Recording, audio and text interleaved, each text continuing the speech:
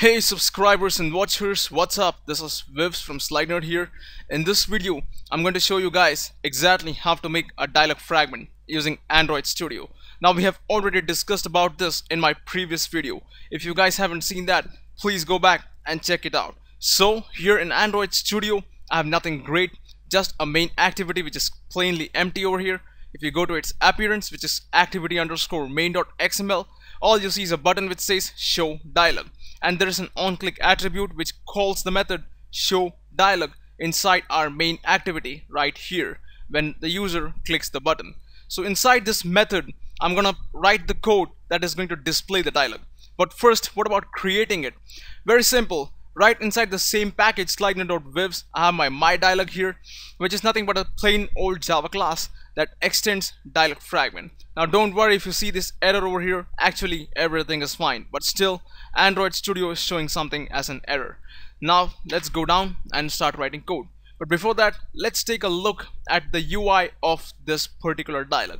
If you go to my dialog here, it's nothing but a relative layout, a text view with something like do you like this dialog? There's a dismissive action which is no button here with ID as no and there's an affirmative button which says yes and the ID as yes.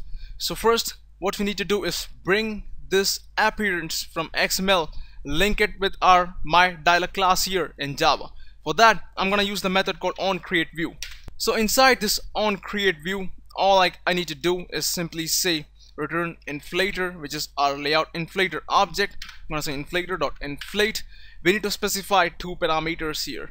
The first parameter is the name of the XML file that contains the description of our dialog's appearance. Second parameter here is not needed at all. So I'm gonna pass null.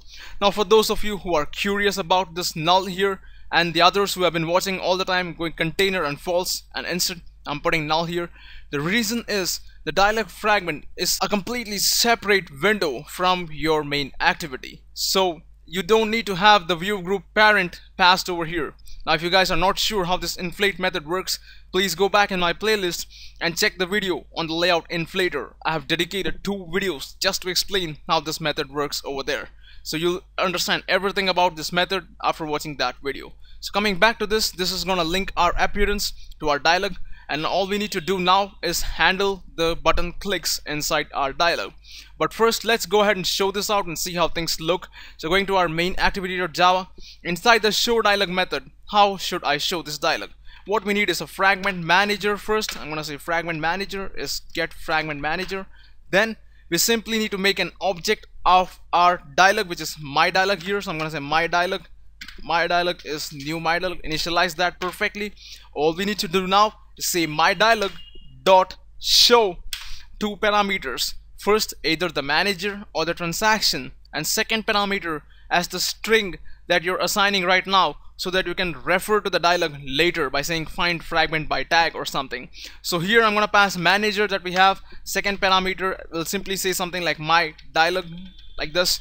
And that is pretty much it. Just run this and you should see the dialog on the screen so now if you say, if I say click show dialog over here and there you go, it says do you like this dialog? And as you guys can see there is no and yes.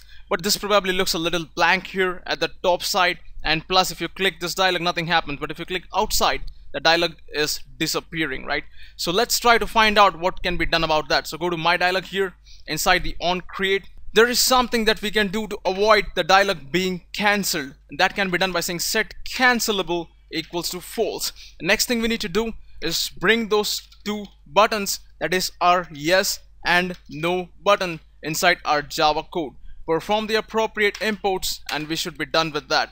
Now here let me split this into two statements by saying view view equals to whatever this inflator stuff was and then return the view. The reason I'll do I'm doing this is because I will use this view to find the button and I mean the yes and the no button. So I'm gonna say view dot find view by id r dot id dot yes and r dot id dot no so let me uh, go ahead and finish both of them here now if you guys are using a dialog here remember one thing very carefully we have to ensure that we don't have an on-click attribute inside our dialog. The reason is this on-click attribute in the dialog is going to expect things to be inside your activity and that is not going to happen.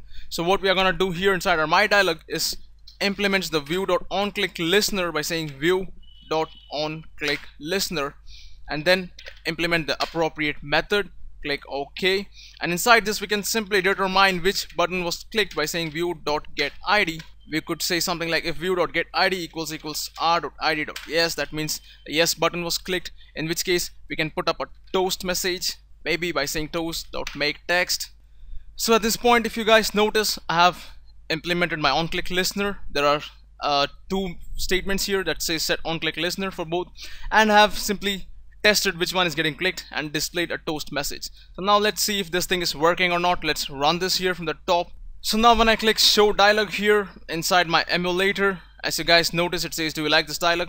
You click outside it doesn't get cancelled this time. And that is because of that statement which says set cancelable false here. So how do you cancel this well actually you cannot cancel this in any way. You click no.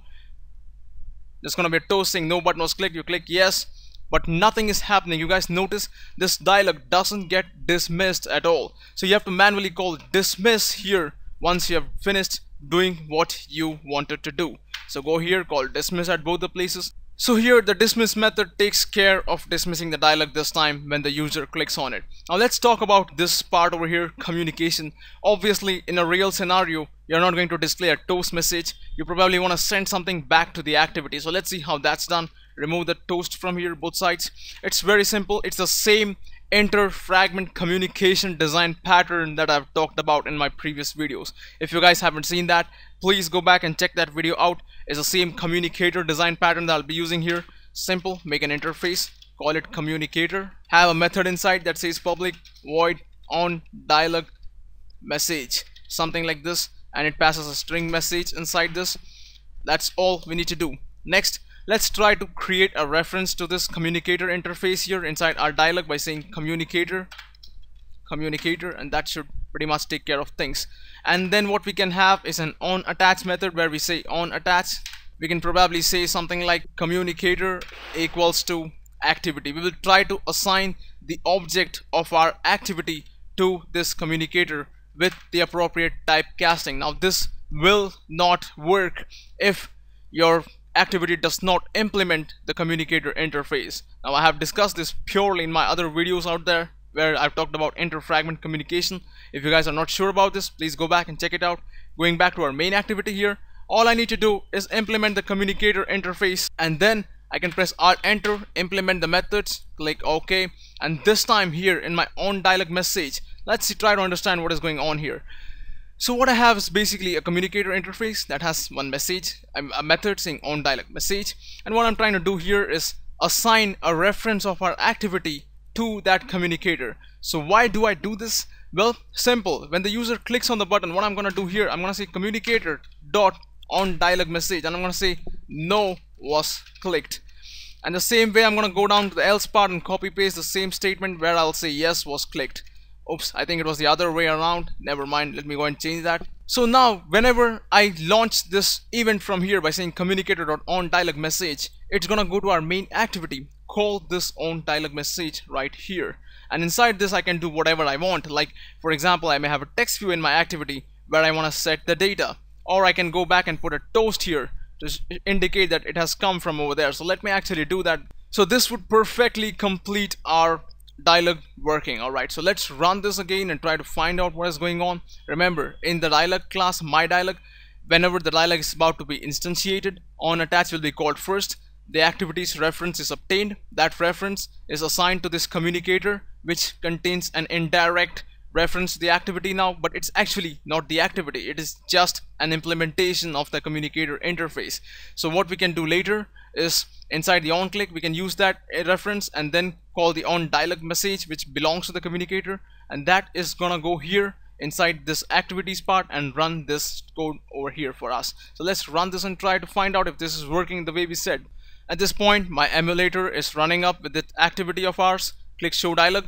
The dialog gets displayed and if you guys click outside it is not cancelled because set cancelable is false if you guys remember. Then if you click yes over here the dialog closes this time because dismiss is executed. And as you guys see the toast over here which means that from here on clicking yes we went right here to this statement which called our main activity and executed this toast statement over there which you saw on the screen. And that is how a simple dialog works. Now remember inside the my dialog.xml you can add anything you want because this is basically a custom layout.